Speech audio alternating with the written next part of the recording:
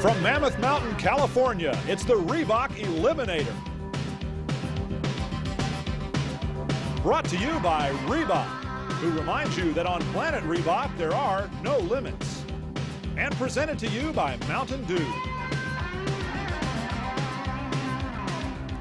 We're standing on top of the world here at Mammoth Mountain, but things are going downhill fast all around us. Hello, everybody. I'm Brian Drever. 11,000 feet in the Sierra Nevadas in the middle of summertime, but there's still snow on the ground. Clouds passing by are making things kind of interesting, and the second annual Reebok Eliminator is underway. Working with me, the man who is a current national cross-country champion, Hall of Famer, and world champion, holds the course record on this kamikaze, but going the wrong way. Ned, let's talk about that course. Brian, the main difference this year is that the course has been coated with pine tar. That makes the course much faster, but it also creates a specific groove which makes it harder to pass. That's going to make the start crucial. We have our defending women's champion, Missy Giove, with us. She's favored on the women's side, but the men's champion, Dave Cullinan, is out of the race. Dave's down with the flu, and that leaves the men's race wide open. I think we've got to favor Jimmy Deaton, who's got the fastest time on this course and won the qualifier yesterday. His teammate Miles Rockwell was second. He's also very quick. We've got Brian Lopes, who is a uh, BMX champion who's used to dicing it out with uh, other guys at high speed, so he's going to be a guy to watch. And then all the Europeans are really going to put an unknown factor in it. Well, we're going to show you some action right now from the preliminary rounds. As an early morning fog hung over the top of Mammoth Mountain, 32 men took to the course two by two. Racers were called to the gate and released into what must have seemed like the abyss. They were led by top seed Jimmy Deaton, who had earned his spot by winning the Kamikaze downhill time trial the day before. The course, however, gave him pause for concern. This year they've put down a uh, like tree sap on the course and they made it, you know, harder and faster and a little slippery when you get off the, the main groove. The international riders came up with a few surprises. Nice guy Tom Rogers drew Yoshiro Yanagihara and learned how to say eliminated in Japanese. Eric the Giant Killer Palmquist took an early advantage over Mike Bohannon, but fell victim to Mammoth's slippery terrain. And Germany's Jürgen Benke came from behind to beat the 1991 World Downhill champ Albert Iten, and then finished off Mike Boom Boom Bohannon himself. Italy's Stefano Migliorini watched from behind as USA's Danny Martinez fell victim to the mountain. Down in a heap. Then in the second heat, they played bumper cars. Stefano advancing to the next round. BMXer Brian Lopes matched up next against Madman Migliorini. Last time he drafted me all the way down the hill and didn't pass me till right before, right this long straightaway, right before the last couple corners. He did the same thing this time. He got in there, and I was surprised because I thought I could out sprint him. But he was too much. He was going too fast in the turn, because and he just slid. Lopes took advantage of the slipping and sliding and advanced. And here we go for another one. Casey Kunzelman, number five, a top eight finisher a year ago, went no further than the round of 16 this time, a victim of newcomer Toby Henderson's flat-out style. Miles Power saw Rockwell ended the Japanese bid. He said sayonara, demolishing Yanagihara in the second round. Upsets were again the order of the day. Wheel problems plagued number one seed Jimmy Deaton, preventing him from making the start time. And at the eliminator, time waits for no one. He was scratched from the leaderboard when he left way late out of the gate against Englishman Jason McRoy.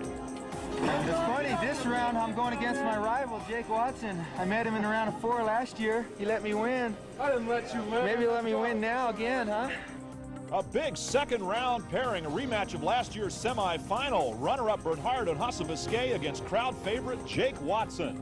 But Jake was too hot to handle this year for Bernie U. They fought down the hill nip and tuck. Earthquake Jake too much with his fan club in full force. Now hang on, because when we come back, Ned Overend takes you for the ride of your life.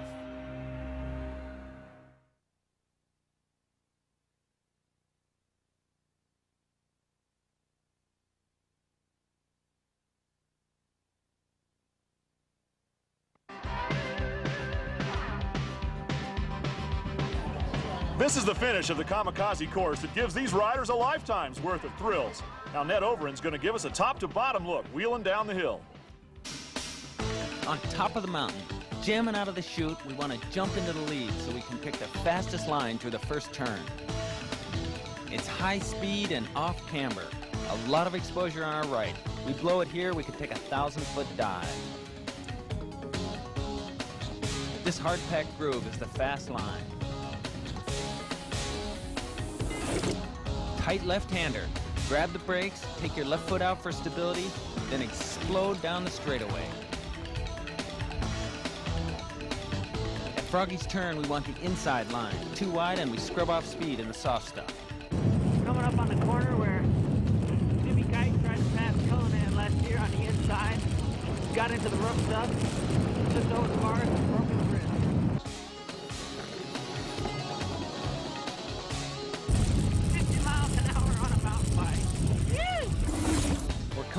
on the super high-speed sandy turn.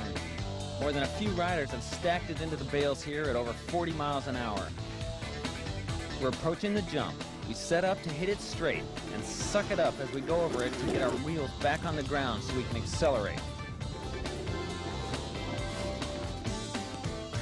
The final kick at the bottom of the course. It levels out so we'll be mashing the pedals to set up for the final turn. Dive inside, make the pass, pick the right gear, and sprint through the finish, a winner. The men's Elite Eight in the first pair, Englishman Jason McRoy against Walker. Toby Henderson and young Mike King make up the second pair. Earthquake Jake Watson returns against BMXer Brian Lopes, and Germany's Jürgen Benke draws Miles Rockwell. Cold, bleak, and windy at the top of the mountain. The first heat is set between Jason McRoy and Todd Walker. McRoy closest to the camera right here. Out of the starting gate they go, and McRoy pulls his foot out of the pedals there, but quickly recovers. Walker moves into the lead.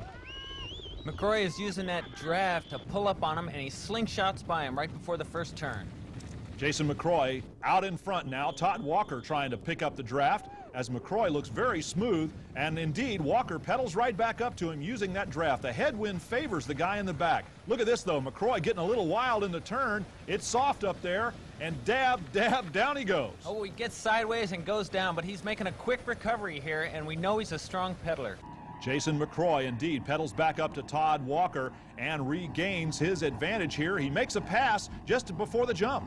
He comes by, and now he's got that strength. He may be able to pedal away through the final straights. Indeed, Jason McRoy pedaled off. Walker having some problems up there, too close to the finish to catch back up. And in the second run, Todd Walker, with nearly a six second disadvantage, has to go hard and fast, but it was not to be. Jason McRoy got up and won both rides. I think where my strength is probably on the flat sections, the pedaling sections. I'm really, really able to turn biggish gears. And um, the corners I can hold my own against the others, I think. England's top downhiller goes to the final four. Henderson and King. Next Watson pair, Toby Lopes. Henderson and young Mike King shake hands coming out of the warming hut, and things are going to heat up as they get ready to go off the start ramp. Henderson on the right. Henderson puts a gap on him in the turns on the upper part of the course. King can't take advantage of the draft, and Toby never looks back. Toby Henderson with a big lead on the first ride, could afford to take it easy. In fact, he took advantage of a problem. Uh, well, I beat Mike by five seconds the first run, so I just played it smart and followed him all the way down the hill. He looked back, he knew I was playing cat and mouse with him, so he followed me. He lost his chain right at the bottom, so I went around him, just came on in. Tough for him, good for you. Yeah. Well, you got a helicopter waiting like everybody yeah, else. Yeah, that's what I'm here for, the helicopter ride. Woo! Henderson joins McRoy in the semis. It's getting slippery. Lines are changing. Um, definitely got to watch how far hard you push it because I'm definitely just going like on the edge of like a cliff. You said seven minutes. Where's the bike? It's up here. You know it. BMXer Brian Lopes making his Eliminator debut against last year's third place finisher Earthquake Jake Watson, the big guy. Look at the size difference between these two. Jake's got the weight advantage. Gravity is on his side, and he uses it to get down the steep sections. Earthquake Jake goes out to an early lead into a headwind, however, by